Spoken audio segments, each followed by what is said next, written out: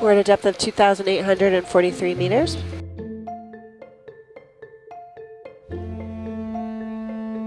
We're able to be in contact with up to 40 scientists a day. We also have an internet chat room. Mike just typed in this this sunburst creature blew my mind. Um, I mean, Mike, you're the expert. I mean, did we really see something completely new there?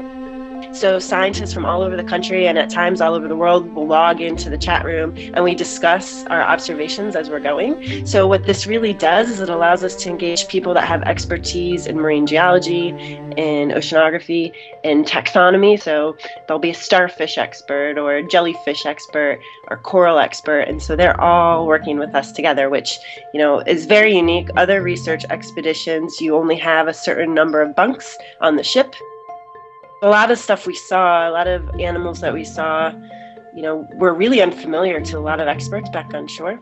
So the goals are to hopefully come back and collect a few specimens, and I'm sure there are many, many more new species to be described.